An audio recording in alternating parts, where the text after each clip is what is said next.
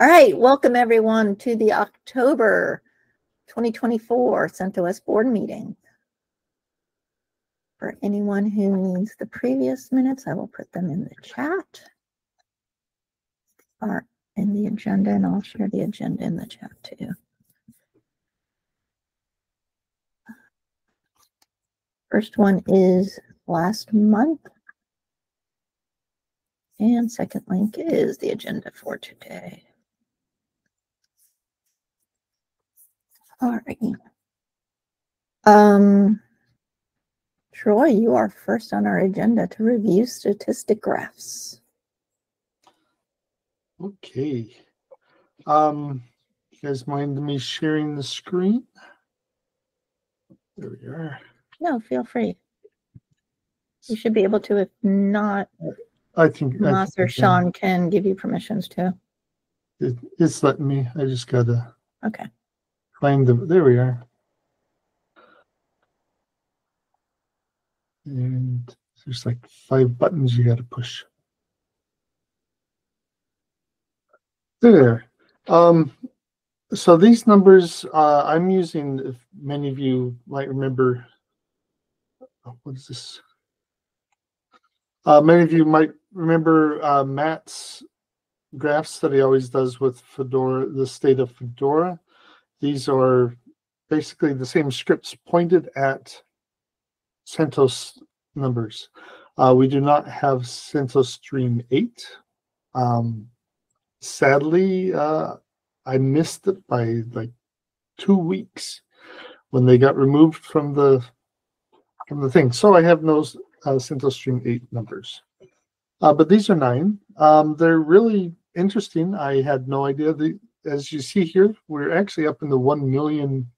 Um, these are machines. We don't know how many users we are, so I'll say machines. Um, and one of the interesting thing is the the 25 plus weeks. So this is CentOS Stream 9, remember? Uh, right here, we can see when CentOS Stream 8 went away, people evidently live migrated their machines from 8 to 9. And um, we have this upward graph, and the, the upward graph continues. Uh, one way to one interesting thing is to look at these more broken out so that we can see the actual numbers. So that number is about 400,000 um, machines that are just running CentOS Stream 9. That's their main machine. Um, I personally like to do that because CentOS Stream 9, I like the update uh, schedule for it. Um, but the if ephemeral things that are less than a week, those are usually used for testing. People want to test CentOS Stream, but also uh, my I'm from my experience, uh, they're actually really testing RHEL. But uh, either way, the ephemerals are also fairly high, getting up to at 1.6 hundred thousands. Now, I do have graphs for 10 there is a way to graph both 10 and 9 but uh 10 was so low that it didn't even show up so i didn't even bother showing those. Um 10 again we are very high on the ephemeral because people are really just testing it out at this point but we're slowly getting oh this is the other thing uh 10 people are testing arch a higher percentage. We don't know uh, how much this percentage is going to go when 10 is actually officially released or not. But right now, the Arch 64 on 10 is fairly high percentage wise. Numbers wise, look, that's two to 300. But percentage wise, it's high. And it's not around long enough that we can have any of these 25 week machines, but we are starting to get some 5 to 24 week people that have been testing and using it for a longer time. Uh, at this point, that's all the the graphs that I have. I have found another batch of things that uh, I might be able to to uh, find the the SIGs out of all these numbers. Um, the SIGs are the numbers are very low. They're you know when you're graphing them against a million, uh, it's not going to show up. It's going to be much like ten, uh, but s- some of them do pop up into the thousands of numbers, uh, thousands of users for the SIGs. Um, the automotive regularly has about, a, I think it was 500, if I remember right. So not huge numbers on the SIGs, um, and we don't know if that means nobody's using them. It might be like I'm going to pick Facebook here behind their firewall. They might have a million people using the, the SIGs things, and we would have no idea. Um, but it's fun looking at the numbers, and uh, it's fun making the graphs. I'll have I'll have some more later on, but that's what I have for this month. Yeah, and some of the background on this, especially for you, Steve, who don't have the history of what we've been trying to do, is we had come up with a success doc. What would mean success for CentOS? And we're missing metrics. So we've been investigating different ways to try to get metrics so we can say, if we got another, in this case, from the numbers Troy just showed, if we got another, say, 500 long-term machines, that would definitely be a success for us. Um, numbers we've also been looking for is um, time to someone getting contact when they put in a bug or something. Those are still pending. We're still working on those, but we want some metrics that we can actually measure against to see if we're making progress. And if we're not making progress, we can work as a board on how to get successful. Like if we know that you know the process is that a ticket gets in and it sits there for three months which it it's not the case and we've said that we would like it to be in two months is there something that we can do to help make it you know shorten the time is it a template or something else that we can make it easier on the user and on the person who's getting that ticket so that we can shorten times so that's just an example um, but again, we're just looking for how we can measure where the community is and how we can increase, you know, the users, the experience and everything else. So that's the history on the success stock. Um, anyone have any questions on that? Do we have a link to give Steve what we put together? We can definitely. Um, I'm sure. If I recall, it's highly rough and meaningfully unfinished, but it's at least, Yeah, it's met- metricless. It has X, Y, and Z in places because we don't have metrics. Um, let me see if I can find it. I Is it, uh, appreciate the concern. Thank you. There is a HackMD titled Success for Stream. Is that the one? I think so. It's in the board private space, so it, you know. We could share it on our matrix channel to Steve, I suppose. Well, I know we have shared the doc publicly. Oh, okay. So if it's Well, this one might be- restricted, actually- that may not be it. I, actually, I think things in that space are able to be shared publicly. So let me go to another browser and see. Yeah, it's, it's viewable publicly. Okay. Then let's go ahead and put this for the reference in today's. uh, Okay. It is now in the um, agenda. I know we've shared the link, so uh, Mhm. so I know it was public because we've actually gone through it in this meeting back in the day. Alrighty. And the kind of goal also is that as we get the website revamp, um, that we have this completed so that when we get the new website launched, that we can hopefully have a what is success for the project on it. Um, any other questions? All right, Brendan, you're up. Oh, man. Is there anything else after me? This might take a while. Me, Um, just Sean's community architect update, because I forgot to do the random issues. Okay. So go for it. Um, Or do you want Sean to go first? I think both of you may take a little while. Sean, I think you know the, the content for this one. Uh, do you want to go first or should I go Okay. ahead? I'll go through it. I have a, a, a lot of bullet points, but I think it's actually pretty uh, fast. Um, all of you, I suppose, are waiting um, with bated breath for your ballots to elect the um, the next um, the the replacement. Uh, I am still waiting on bios. We we said that we would give people a chance to write their own bios this time around to put everybody on an equal foot, and I'm I'm waiting on those. So I will I will get those ballots to you um, I will put fires under people's feet and get them to you this week. Um, excuse me. Um, the I want to remind people that we are doing the CentOS showcase on November 4th.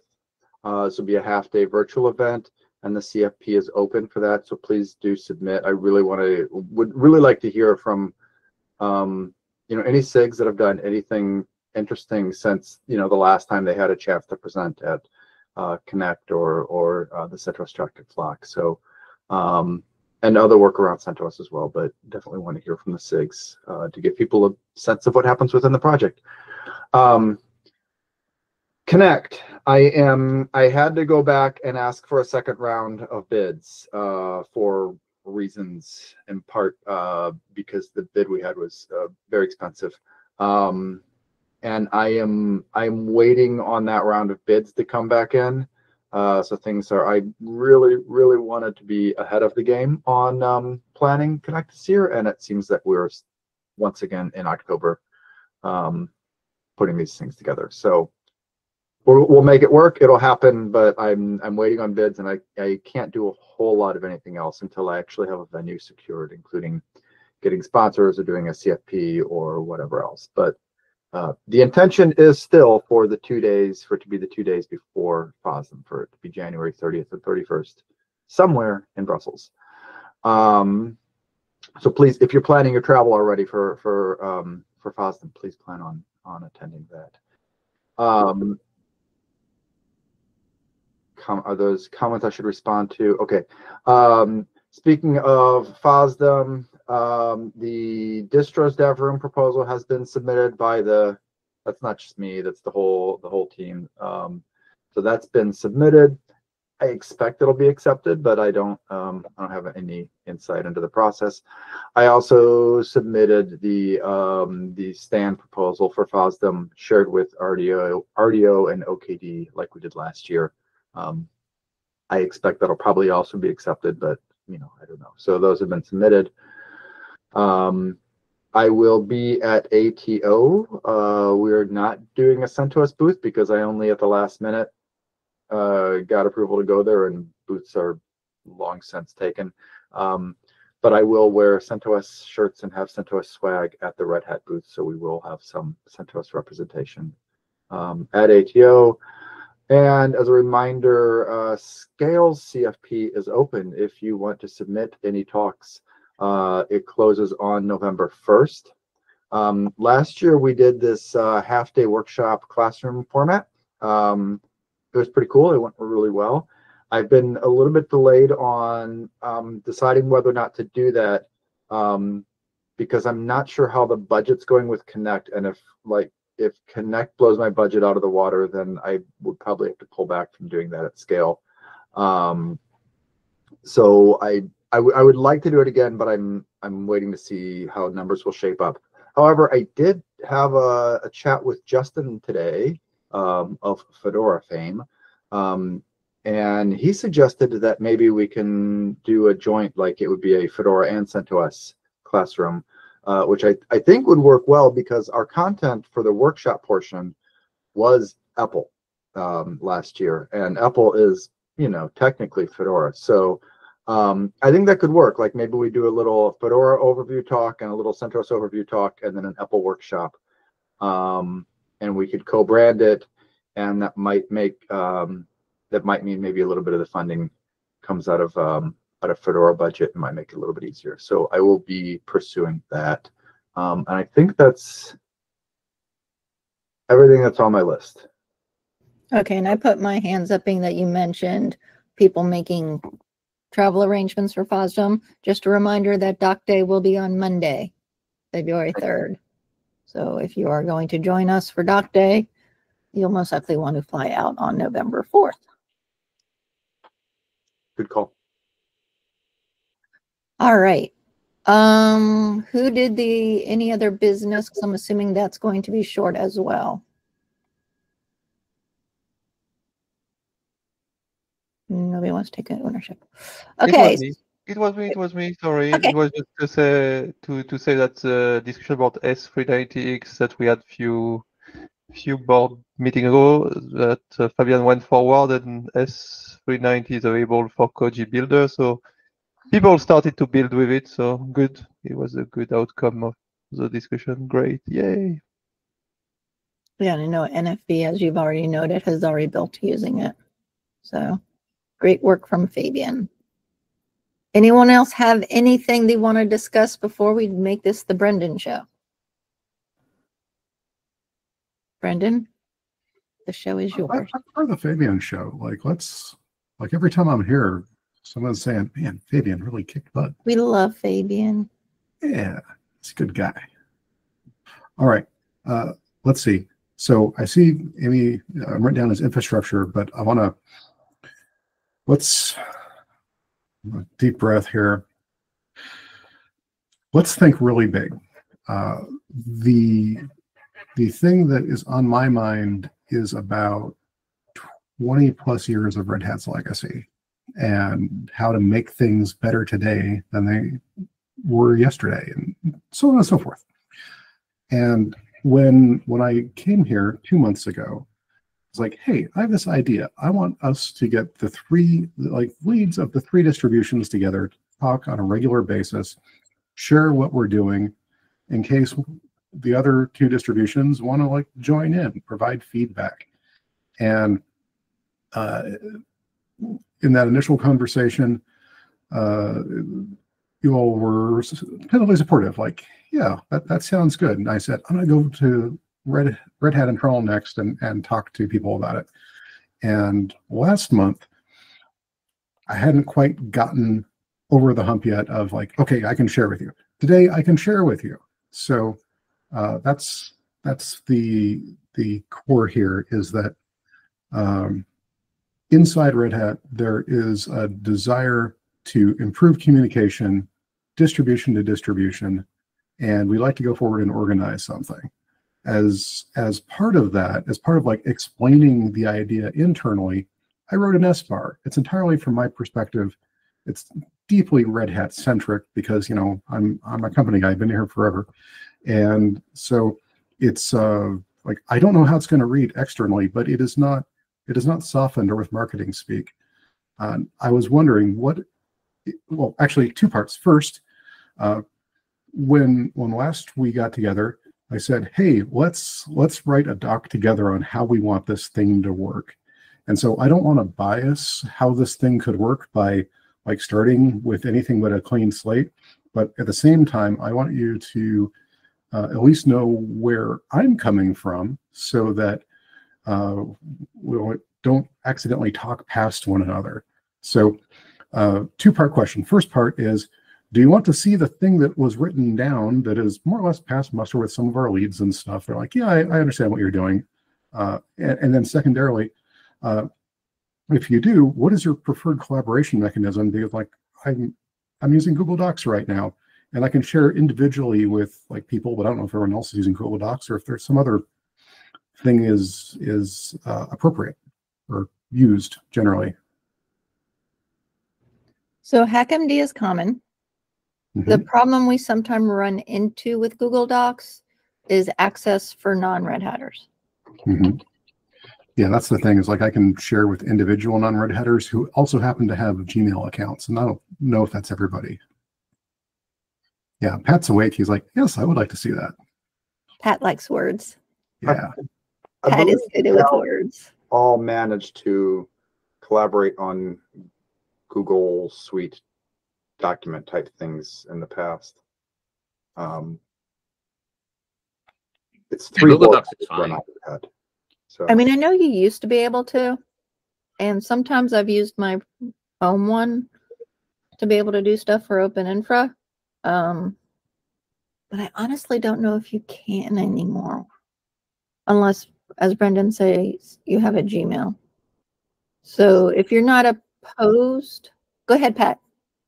Uh, as I don't know how Red Hat has locked stuff down, but the Fermi internal collaboration stuff is heavily locked down and it is very difficult to share things outside of the Fermi garden. And so I don't know if Red Hat has done a similar thing. Yeah, the the way it's set up, I can share with other Red Hatters, no problem. I can share with individuals with Gmail accounts, like on a targeted basis, but beyond that, uh, cannot. So I'm not sure, like what the precedent here is. Like I, I'm, I want to meet you where you're at, uh, but The one problem with HackMD has been revisions, but I do believe there is a way now to comment. Davida?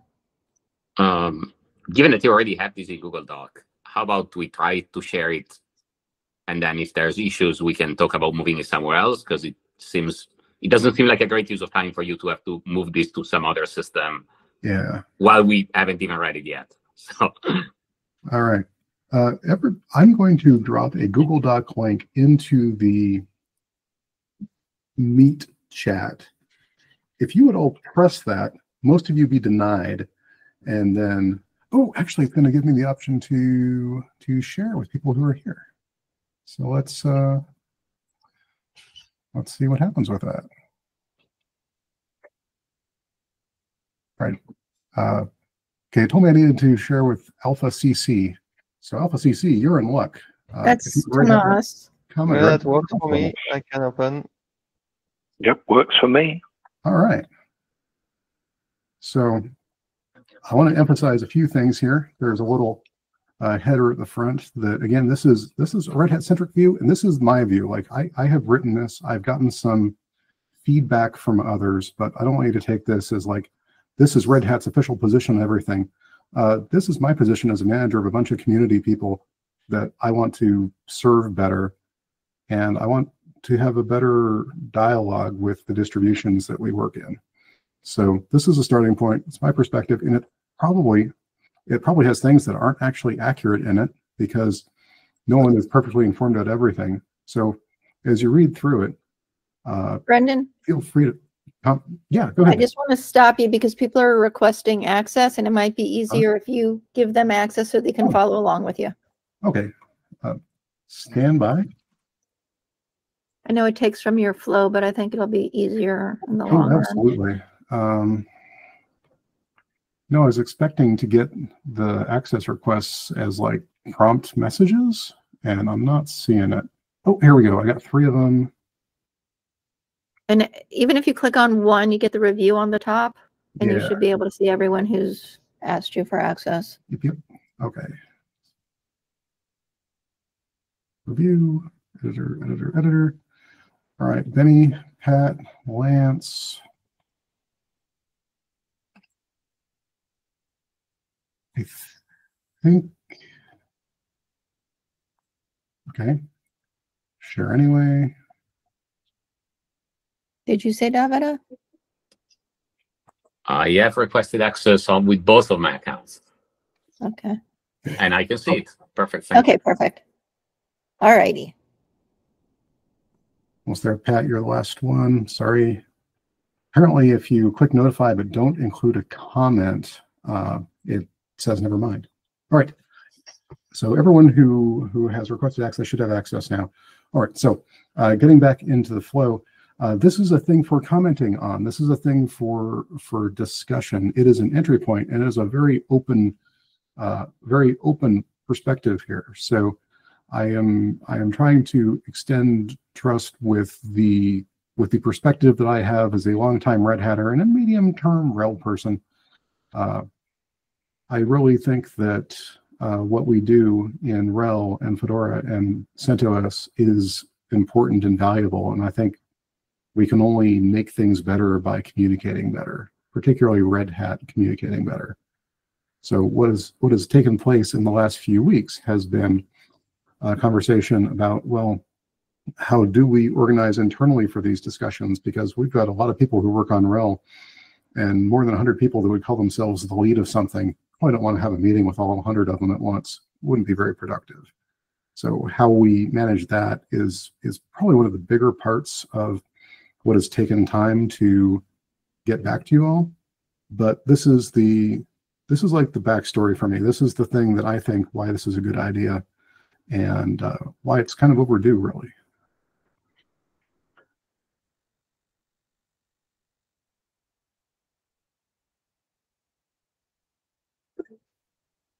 Go ahead, Troy.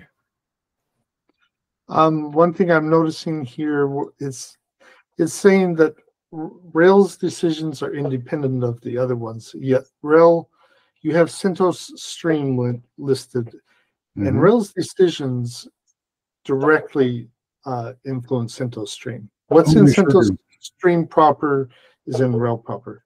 Yeah. Uh, just Yeah, want to point that out. Um, Well, we sure act. that's for like we- everything else. Yeah, we We- sure act we- like we're independent, and yet at other times we we don't, and that's that's really the point, right? Is that the decisions we make uh, affect one another. No.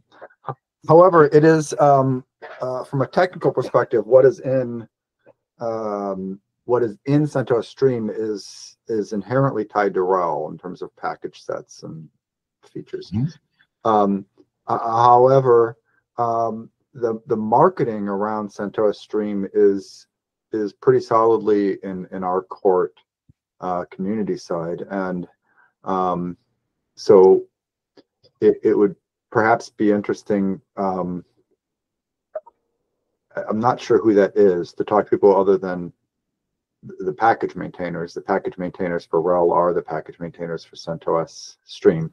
Um, you know, who, who, who is kind of the counterpart in RHEL and, and how does, how does our messaging, um, um, synergize, I guess. I don't know.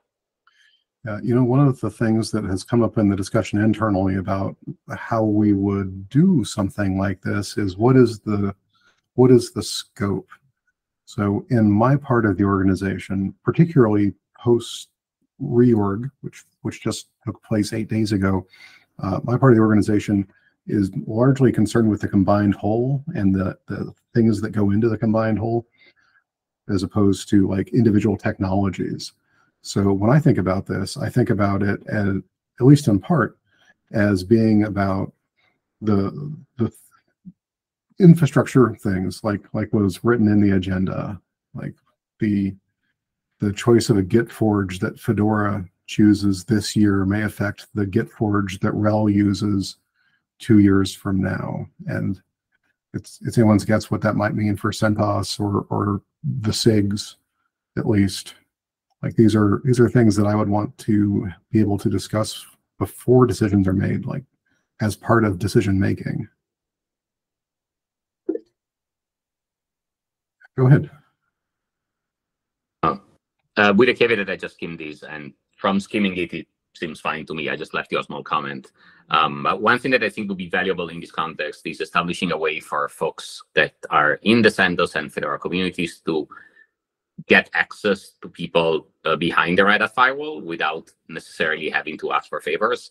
Because it is not uncommon to have the situation where, like, I file a Jira, there is radio silence. I go back Carl or someone on, hey, can you ping this person on GChat for me, please? Because I don't know how to reach them, or I don't even know who I should reach. So uh, I mentioned this before, but I think it would be really useful to have some kind of formalized way that people can get access, and on the other side, that an expectation that maintainers on the RHEL side should actually give a shit about what's happening on the community side and like pay attention to issues and PRs that show up on on GitLab for streams sometimes and things like that.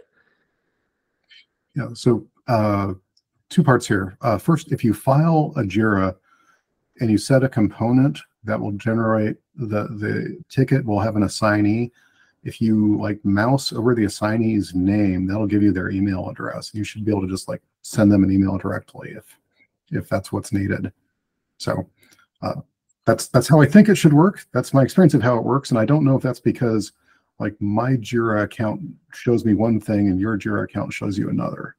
Uh, on the subject of ELN, and I love ELN. I just didn't want this document to turn into a, a description of the whole software pipeline from soup to nuts. I get it. That's fair. Amy, Yeah, and I just wanted to add in some of what David is talking about, we talked about in the face to face. And Adam was going to work on things to improve that for us um, as time permits. So I think we, or I will ping Adam to see the status of where he is on his takeaways from the face to face. Because I think if we get that aspect resolved, that will help what David is talking about. okay, super.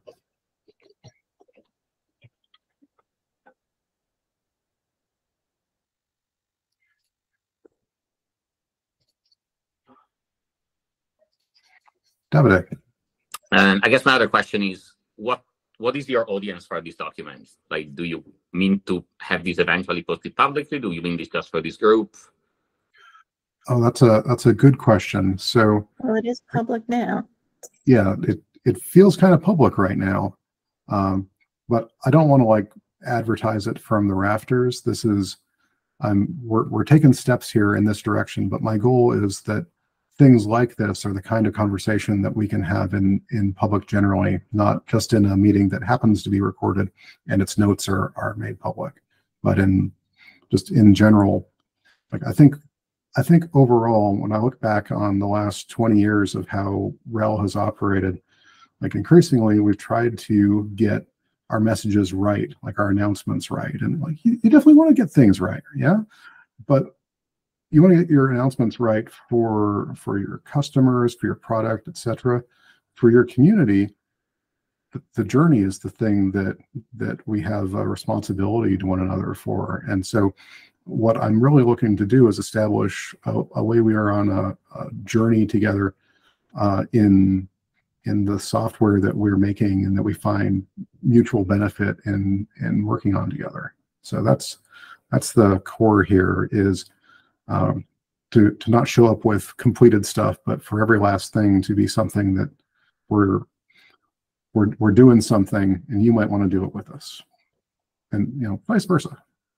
Yep. No, that that makes sense. I was asking because, like you mentioned, this is very Red Hat centric, and it definitely reads like a Red Hat internal document. So if you were planning to like say post this on the mailing list, um, I would caution some like careful editing to soften the language a bit. Oh, oh yeah, definitely. Um, the the my goal here is to share it with you, the board, and interested parties uh, if if needed. But this isn't like a this isn't a PR piece. This Cool. is this is like like I said at the beginning. This is raw. This is um, this is my perspective. That is not.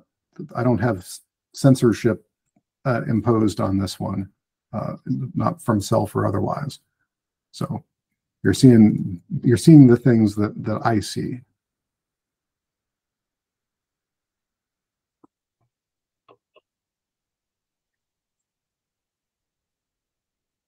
Being that I scrolled down to the now what? Um, are you thinking about the external Fedora RHEL CentOS leadership interlock being, I mean, you, you, you mentioned Google Meet, um, Matrix, and periodic planning alignment. Are you thinking of uh, face-to-face with people or what are you thinking there? Well, I mean that's the main part for discussion and uh, recognizing that Fedora isn't here. If they're in the middle of a Fedora one release, I'm talking to you all right now. We'll, talk to Fedora leads after 41's out. Uh, I, I checked and that was definitely people's preference. So uh, what I would like to see is, not necessarily what is the right thing, but I picture something happening as often as weekly, like uh, like in the doc, like public meeting in Google Meet weekly, maybe uh, a public forum in Matrix for ad hoc conversations, and maybe like a quarterly planning thing where we do something more than just you know sharing what's going on in our space. but you know that's that's like my idea from from just prior things that have worked for me. It's not necessarily like a set of good ideas. Like that's that's the thing we got to talk about. the The reason why this section even exists is because I, in talking to people, they're like, okay, I'm philosophically aligned, but what does it actually mean? Like, okay, well, here are here's an instance of what we might do if we were to put this into practice. And so these are these are ideas for understanding the implications implications of an idea, not like a well thought out. This is what we need to do next. All right, I'll let Davide go, but I'll comment afterwards. Um, we can bikeshed on the specifics. I don't think this is particularly important to do now. Um, my hunch is that a weekly face-to-face, given the groups involved, is going to be challenging to schedule because of time zones and because everybody is already in a lot of meetings. So it might be easier to have uh, some kind of weekly async thing on Matrix and then have a face-to-face with like a longer cadence, like a bi-weekly or a monthly or whatever we deem useful. Um, that might make this a bit easier to schedule because otherwise we can we can definitely try like put up a, a when is good or whatever but i suspect the overlap would be the null set because um, i know these meetings is already pretty hard to schedule in a slot that works for everyone and it's only once a month yeah so i was going to say i love the idea of public um y'all hear that from me a lot so I love the idea of the matrix room that anyone can come in and join and see the conversations going on. Um, I do agree with Davide that's a little hard to get everyone you're going to need to get um, weekly. So that may turn into a monthly, I think might be realistic. Um, mm-hmm. just from talking to scheduling people for the PTG last week, they're more willing to stay late once every six months than weekly. So once a month, somebody's more willing to stay late um, than they are on a weekly basis. And for the planning alignment, or, you know, if we were to do a face to face with enough notice, we could probably schedule things into a day at Flock, a day at Connect, or at least a session, you know, where everyone who was involved went into a room. Um, so some thoughts there, but of course needs way you know, look, we're planning CentOS Connect this far out just for rooms and other things. So things to think about. Um, Pat? So as I like the look of this, I have some sort of bigger process concerns. Uh, for example, if the board comes to a consensus on we need to do a thing, uh, that generally results to uh, either Steve, Red Hat needs an official statement, go get that, or Sean, do the work and so I'm I'm happy to sit there and sync up with people, but a lot of the folks doing the actual like work tend to not be in this meeting. Hmm.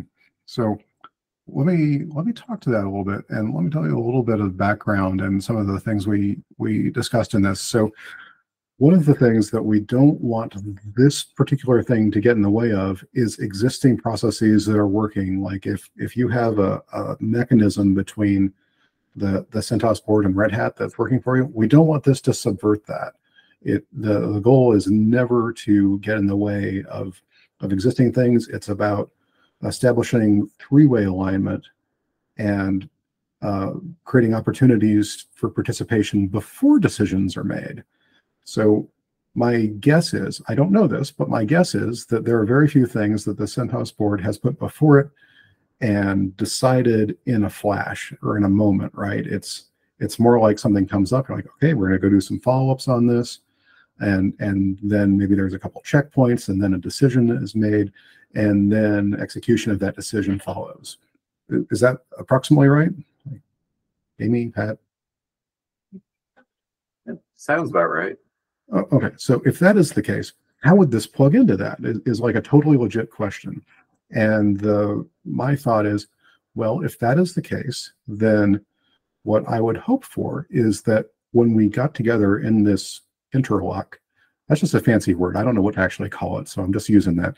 Uh, when we got together, we would say, hey, the board is currently working on this thing.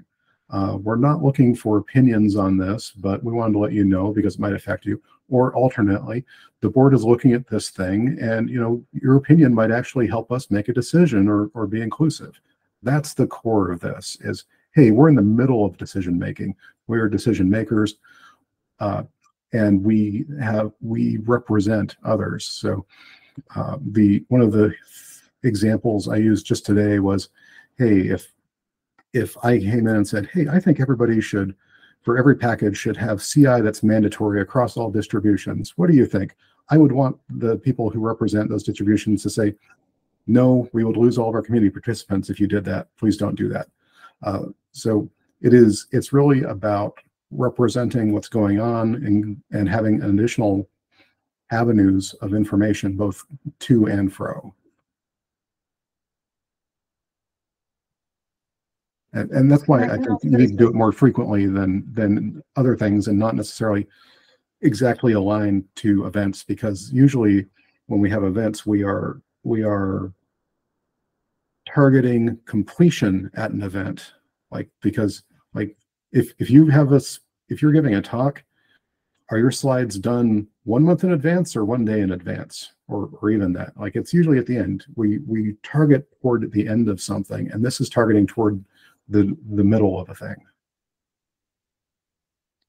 And I can also see the SIG Council that's still in progress of being formed in governance step, um, participating in this and even someone representing this group attending the SIG Council stuff. So I see a lot, that is a possible cross collaboration Pat that I think would help with your question. Um, so I think this is two different groups that will have some alignment. But we have to form both groups first.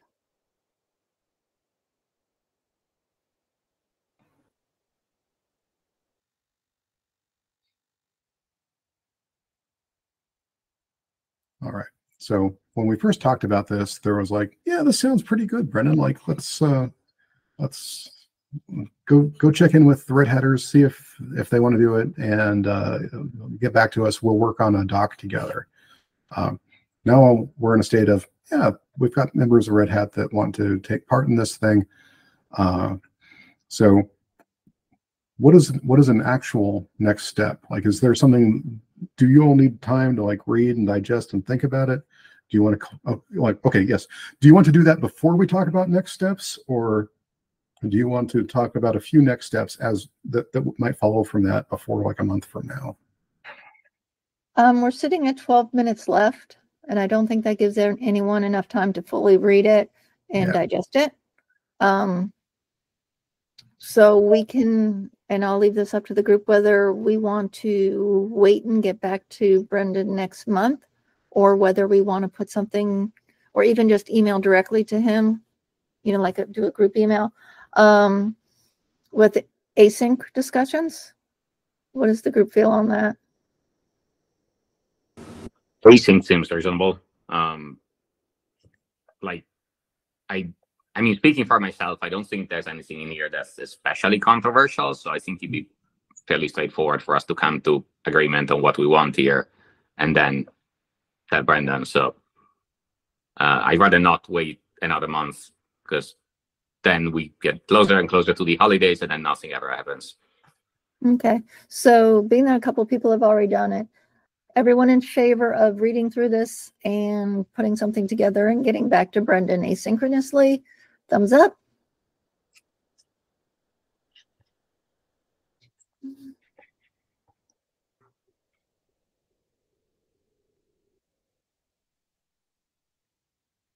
Anyone who is opposed to the asynchronous situation and wants this to carry over to next month? Thumbs down. I would expect to see Brendan react to that. I am usually a smartass, so I was always going to do that one. All right, so Brendan, the board will read through this and we will get back to you in the next week or so, I would say, asynchronously. So I think we just need some time to digest it. I don't think anyone is opposed to it, Yeah. but we may have some questions that just glancing at it, we can't get to you in 10 minutes. Yeah, not to be too meta, but I think this is an excellent illustration of the challenge of showing up with something completed. Not necessarily. Well, it's not really complete. It's but but we are good with words. Pat and myself at least. So, um, all right. So, does anyone else have any questions for Brendan to continue the conversation?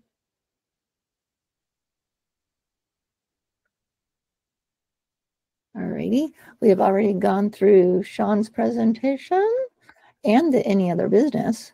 Does anyone have any any other business that was not in the agenda.